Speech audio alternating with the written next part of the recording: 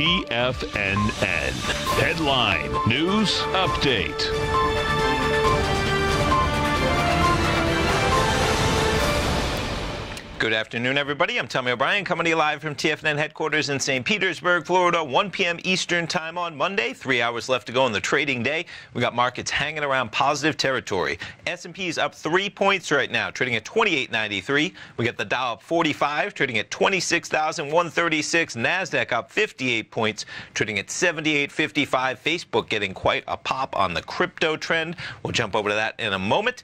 We have We'll jump to it right now. Bitcoin up $769, trading at 92.22.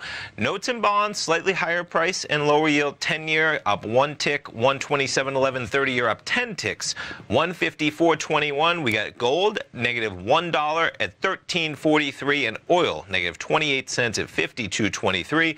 We'll start things off. Let's jump over to the futures. We'll start it off with the Dow, kind of right where we were at about 8 a.m. this morning, 26,159. We made to a low of 26,065, so about 100 points up from that level. NASDAQ 100, a little bit of a different story. We trade higher for most of the early morning from 9 a.m. You trade from 75.16 up to an intraday high of 75.76. We're about 11 points off that level, 75.65. S&P is trading at 28.98. We're above 2,900 briefly at about 10:30 to 11:30 this morning.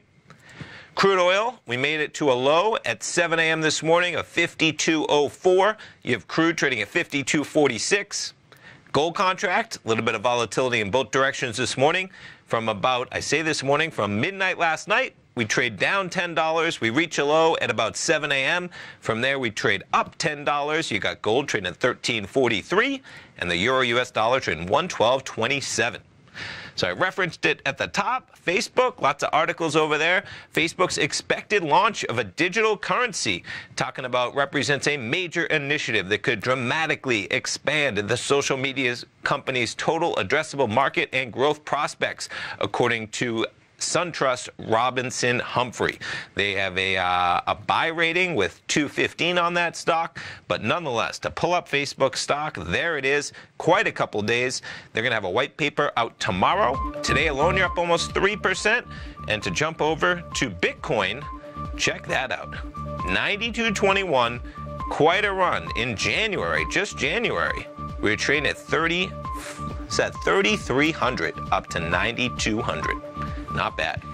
Stay tuned, folks. Steve Rhodes coming up right now at the Trader's Edge. Dave White at 2 o'clock. Tom O'Brien at 3. Have a great Monday.